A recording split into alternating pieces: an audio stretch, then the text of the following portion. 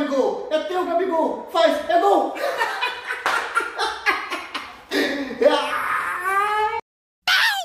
CBF, Copa do Brasil, esse hábito de merda, o VAR, vai tudo tomar no... Eu quero que esse vídeo chegue pra vocês. Yeah.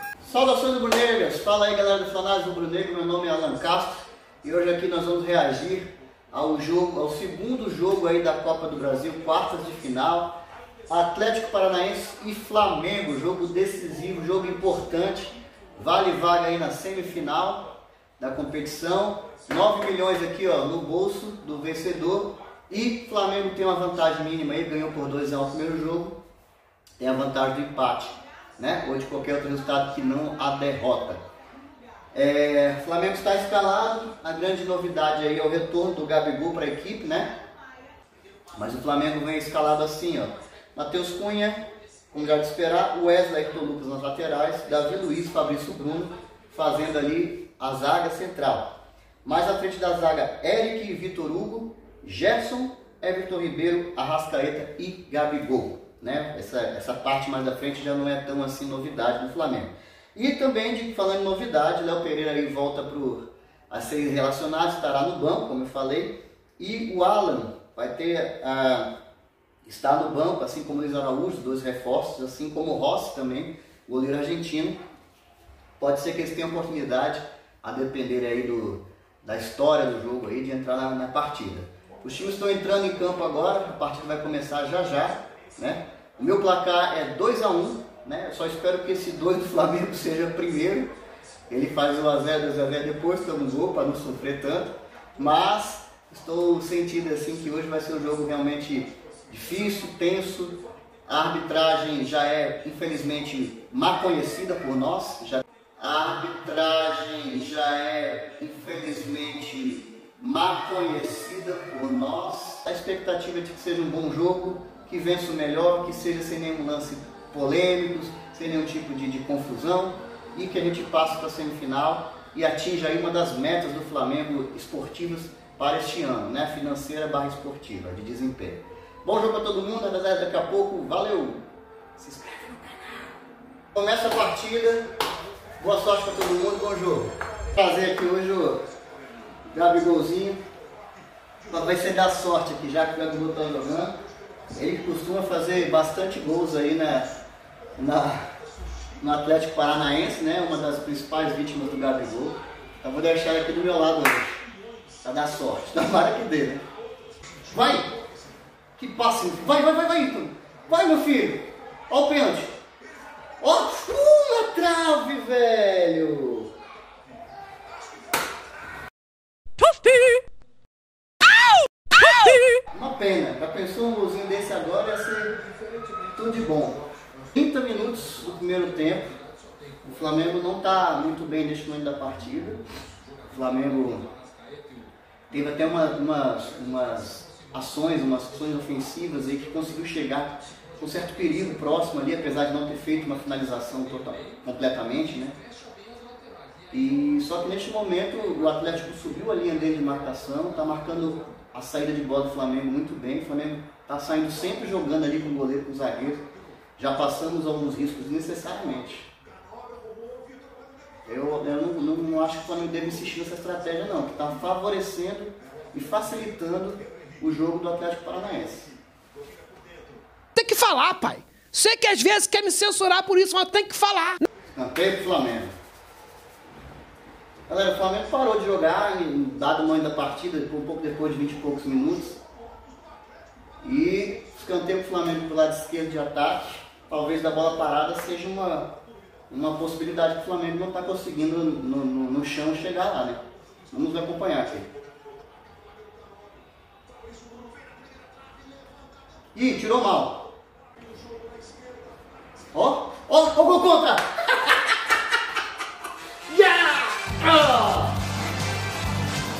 Bora, Flamengo! Ah! Que golaço! Só que contra! Tava falando aqui, escanteio pro Flamengo, dependendo de bola, de repente de bola parada, poderia sair, comendo. Poderia sair o gol do Flamengo. Bateu o escanteio, o goleiro tirou mal da área, a bola voltou pro Flamengo, o Flamengo jogou a bola na área, invertendo, o Arrascaeta escorou para jogar a bola pro meio da confusão lá, e o, e o Eric, eu acho que o, o volante aqui, não sei, meio campista do Atlético Paranaense, acabou fazendo golaço contra de cabeça, 1x0 pro Flamengo aos 44, importante. Galera, fim do primeiro tempo, o Flamengo aí achou esse gol no finalzinho, né? Não estava conseguindo mais jogar, não estava construindo jogado, não estava oferecendo perigo ao gol do, do, Atlético Paranaense.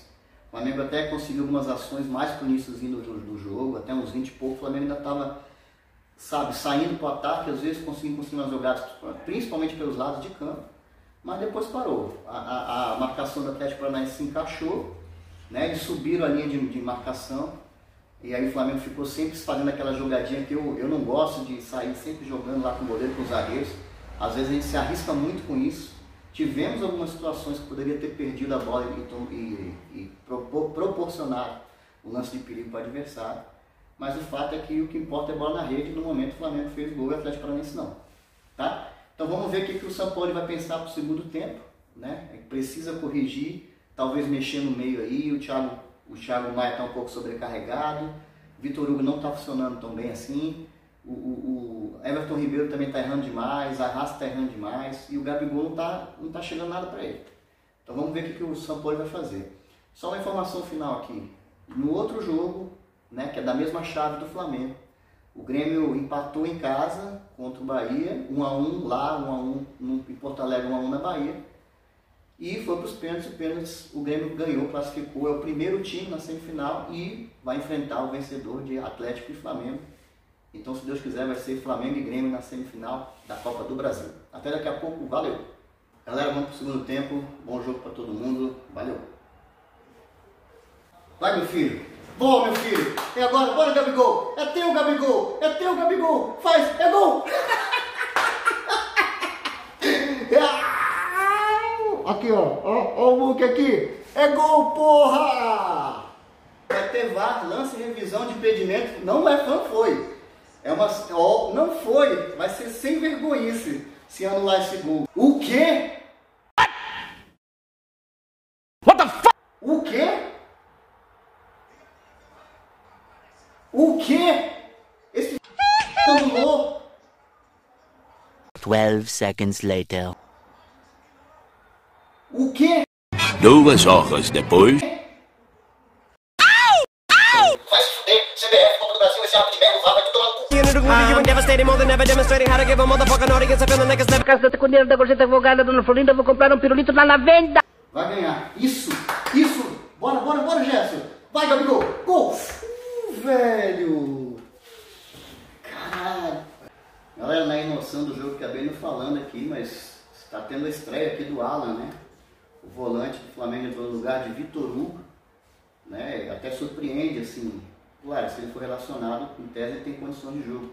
Mas surpreende porque esperava que ele precisava de mais tempo, né, para pegar uma, uma forma física, estar 100% aí, ou pelo menos próximo disso para jogar. Mas já está em campo, já tomou amarelo e está rolando. Você viu aí, Gabi? Está anulado o teu gol, hein? Um golaço, inclusive. Na cara de pau, o que, que tu achou disso? Filha da puta! Que demais! Este, este mal intencionado desse, dessa pessoa que se diz árbitro de futebol hoje. Primeiro inventou um impedimento. Aí, uma mão do atacante do Atlético Paranaense, os caras querem tentar ver se tem pênalti no VAR. Tipo, arruma alguma coisa aí pra gente, cara, pelo amor de Deus. Aí agora expulsou o Gerson, que foi apaziguar uma briga. Olha, bicho, parabéns. Você ganhou o troféu de o pior árbitro da Copa do Brasil de toda a história. Eu já estou ficando nervoso, hein? E digo mais, falta pro Flamengo, vai ser o gol agora. E digo mais, falta pro Flamengo, vai ser o gol agora. Vai ganhar roubada aqui não. Ó, ó, ó, ó, ó, falei! Eu falei! Falei! Eu falei! Falei! Eu falei! Duas horas depois.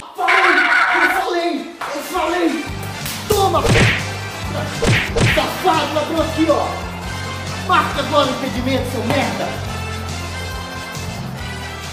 Anula agora. Aqui, ó, aqui, ó. Gabigol. Senhores, 48 do segundo tempo, né? Tentaram de novo no VAR anular. Vê, vê, vê se tem alguma coisa pra gente usar aqui pra anular esse gol. Vê aí, vê aí. Porque... Mas não adiantou tá? 48 do segundo tempo. Eu ainda falei aqui antes, se vai sair o gol do Flamengo, saiu. Gabigol, Gabigol, segundo gol dele na partida, só que dessa vez eles não tiveram a cara de pau, a indecência de anular.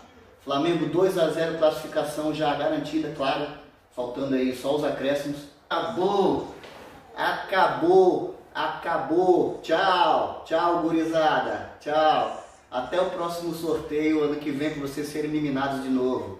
Esse juiz tem que sair daqui desse jogo escoltado, entendeu? Direto para cadeia, direto para penitenciária. O Flamengo, o Flamengo fez um primeiro tempo muito abaixo, mas no segundo tempo o Flamengo foi melhor conseguiu se, se organizar um pouco mais, tanto para se defender quanto para sair para o ataque. Errava muito, errava muito nas transições ofensivas, mas conseguia ainda assim produzir alguma coisa. Mas ainda assim o Flamengo seguiu se defendendo, seguiu levando às vezes algum lance de perigo. Fez o segundo gol com o Gabigol, depois de mais uma pataquada do juiz e ter expulsado o Gerson à toa, ele foi igual uma briga, entendeu? E logo na sequência da falta dessa briga, o Flamengo fez o segundo gol com o Gabigol. Entendeu? O predestinado é aqui, ó. Meu coleguinha aqui hoje, ó. Flamengo 2 a 0 classificação encaminhada para semifinal, Flamengo e Grêmio, tá? 9 milhões no bolso. E vamos em busca aí do pentacampeonato. Se Deus quiser, estaremos na final, se Deus quiser, levaremos essa. Tá? Destaque para a estreia do Alan, do Alan, destaque para o gol de Gabigol. 151 gols já com a camisa do Flamengo e destaque assim para que hoje o Flamengo não foi um time tão propositivo, que fez tanta pressão, construiu muita coisa, que foi tão contundente como o São Paulo quer, mas de certa forma foi muito efetivo, né? Porque as poucas vezes que subiu, levou perigo, fez dois gols, fez três na verdade, um foi anulado. E é isso, galera. Até os próximos vídeos. Saudações rubro-negras. Valeu! Bora, Mingão!